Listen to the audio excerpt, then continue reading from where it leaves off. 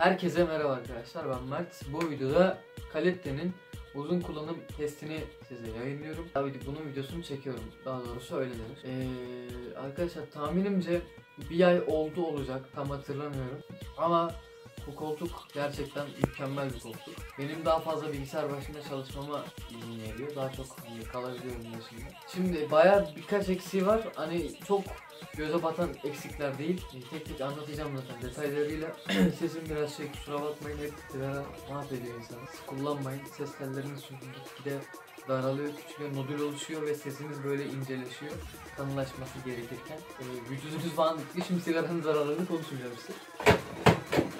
Ee, şimdi şöyle, koltuğun ilk eksiği mesela ben yazmışım. Bu oturduğumuz yerdeki yani şuradaki kırmızı şeritler, şuraların araları e, çok pislik alıyor. Hele ki hani yayın yapan ya da sabah akşam vaktini bilgisayar başında geçiren bir insan için bunu temizlemek bir- biraz can sıkıcı oluyor.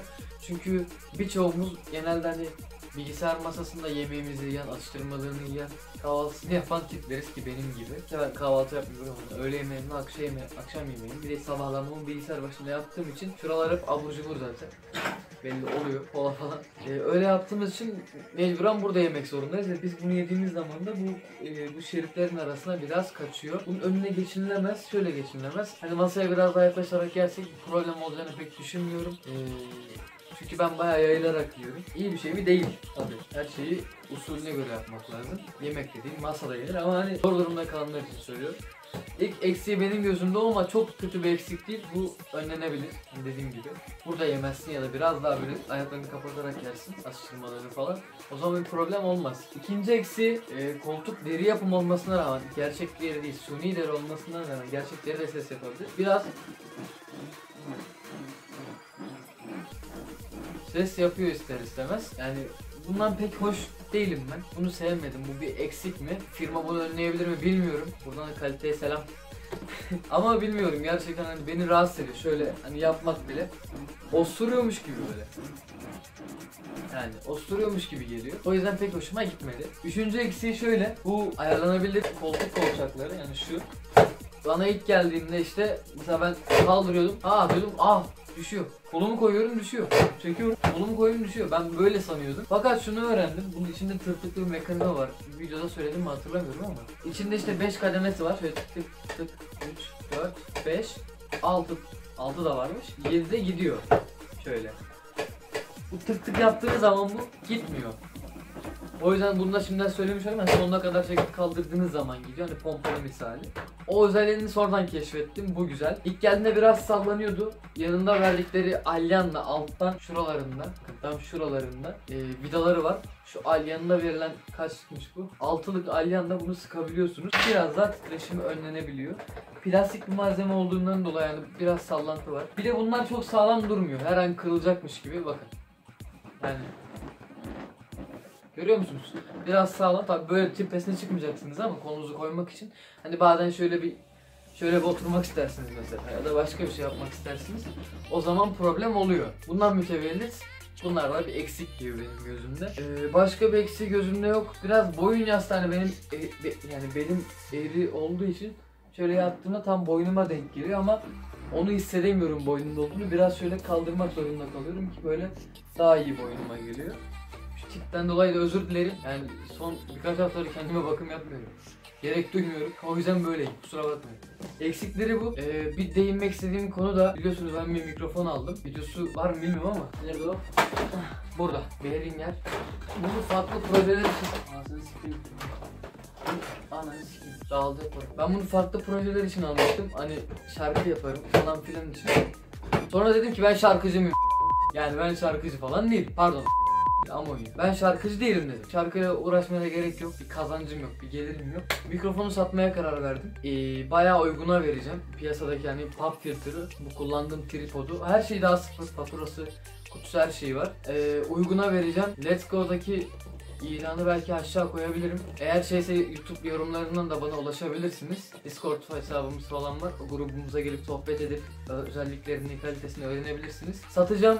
Almak isteyen olursa, ihtiyacı olursa ya da bir etrafındaki bir kişi işte ben şarkı yapacağım, YouTuber'lık yapacağım, yayıncılık yapacağım diyorsa çok iyi bir mikrofon.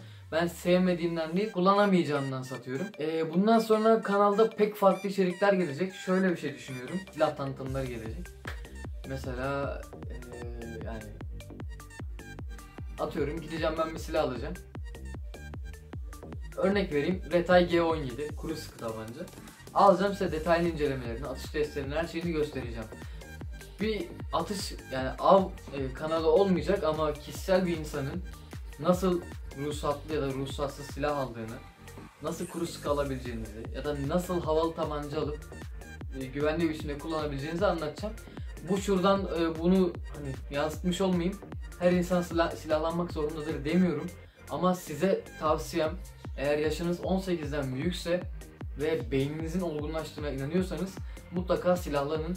Çünkü artık Türkiye öyle bir yere gidiyor ki yakında iç savaş çık yani iç savaş çıksa eee, pek doğal bir şey olmayacak. Bir saniye bekleteyim. Bunun benim için aldığım bir önlem var. Onu göstereceğim size. Geliyorum. Gelemedim. Geldim. Gidemedim dedim kusura bakmayın. Şimdi iç savaş dedik, silahlanma dedik. Ee, şöyle bir şey var. Ben aslında silah, kavga, bıçak sevmeyen bir insanım. Ama e, yaşadığım bölge, şehir itibariyle insanı zorla buna teşvik ediyorlar. Hele ki çevremizdeki insanlar mecbur bırakıyorlar. Ee, şöyle bir şey var. Ben bir silah aldım kendime. Kendime ait ruhsatlı bir silahım var. O da 7 artı 1 bir pompalı tüfeğim var. Hani bunu insanlara tabii böyle gidip amram ne yapıp diye yapmaya gitmiyorum. Yapmıyorum öyle şeyler. Odamın belirli bir köşesinde duruyor. Güvenlik amaçlı. Yarın bir gün bir sıkıntı olduğunda ya da ne bileyim Allah korusun evimize hırsız ya da bir düşman adamlığında kendimizi savunabilmemiz için bu gerekli. Bu yine az bir mermi içeride deposu var. Yani 34 gram 12 kalibre pompalı tüfek mermisi kullanıyorum ve baya güzel. Ee, hiç nasip olmadı bir insana sıkmak. Umarım olmaz da. istemiyorum çünkü bir insana bununla sıkmak. Şurada yani burada vermek istediğim mesaj şu. Eğer yaşınızın olgunlaştığına inanıyorsanız ve bu aleti ya da bunun gibi benzer bir aleti aldığınız zaman oyuncak bile olsa, havalı bir tabanca bile olsa ya da airsoft bile olsa bir insana durduk yerde zarar vermeyebileceğinizi biliyorsanız mutlaka silahlanın derim. Yaşı benden küçük olan kardeşlerime söylüyorum. Ee, bu konulara hiç girmeyin. Babanızın, dedenizin silahı vardır. Sakın oynamayın onlarla. Ben bile bazen hani nefret ediyorum. Baktıkça böyle kenara koymak istiyorum. Ellememek istiyorum. Ama arada bakımı olduğu için bakımını yapmak zorundayım. Buradan küçük kardeşlerime tekrar sesleniyorum. Oyuncak tabancanızla oynamaya devam edin. Büyüdüğünüz zaman zaten bunun belirli evlerinde silah sahibi olacaksınız. Kaliteden nereye gitti konu? Ben ne yaptım ben? Şu an ne yapıyorum ya? Bu arada mermisini de göstereyim. Ha bu arada fiyatını soranlar olacak. Ee, normal silahın fiyatı 3200 lira. Ruhsatıyla beraber 5300'e falan geldi. Şu anda boş. Yani şöyle göstereyim. Boş. Zaten evde de boş tutuyorum. İşte kilitli mekanizması falan var. Hoş yani. Ama dediğim gibi bunu sakın insanları zarar yani insanlara zarar vermek için kullan. Bunu zaten yapan bir eee ne denir? Özel kolluğumuz var. Polis, jandarma, pö, jö. Her şey. Zaten bu millet için. Kalkıp da siz vatan için böyle silah alıp millete sıkamazsınız ya da Suriyelilere atıyorum. Ben de sevmiyorum. Şu buradan onu söyleyeyim. Sevmiyorum abi ben sevmek zorunda değilim. Onlar buraya geliyorsa biz onların dilini öğrenmek zorunda değiliz. Onlar bizim dilimizi öğrenmek zorunda. Ben şöyle göstereyim. Bu domdom bu arada. içinde saçmaları olan domdom kurşunu. Bunu sıktığınız zaman bayağı hoş olabiliyor. Recep İvedik'in bir sahnesinde gösterdiği gibi. O yüzden tetini düşüreyim. Yani dediğim gibi silahlanmak istiyorsanız önce burayı silahlandırın. Ondan sonra evinize ruhsatlı güvenlikli bir silah alın. Evet şu anda yayınımız durdu. o zaman bu videoda bu kadar olsun. Kaliteye buradan çok teşekkür ediyorum. Ee, çok teşekkür ediyorum gerçekten. Hani iyi bir koltuk ama birkaç eksiği hani Ya şöyle bakın olaya. Türk yapımı. Tamamen sağlam, dayanıklı. Üzerinden Honda ile geçiyorlar. Kırılmıyor. Ya bunu bir Türk yapıyorsa ben gider bunu alırım. Gidip DX Racer yok başka bir şey almam. Ya da X-Drive falan almam. Gider kaliteyi alırım. Basarım parasını. Türkiye'me destek olurum.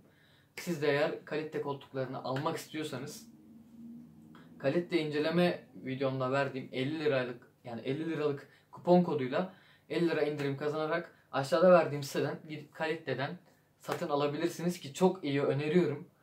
Mükemmel öneriyorum. Alın lan. Valla paranız varsa hiç acımayın. Hele bilgisayar başında çok vakit geçiriyorsanız direkt alın. Öyle. Benden çekmemi istediğiniz video varsa lütfen belirtin. Çünkü ben video konusu bulamıyorum. Hani mikrofon da satılacak yakın yakın bir zamanda. Ondan sonra sürpriz bir iki video gelecek. Teşekkür ederim izlediğiniz için. Ee, kendinize iyi bakın. Hoşçakalın. Ben de gideyim bari. Hadi gittim ben. Hadi görüşürüz.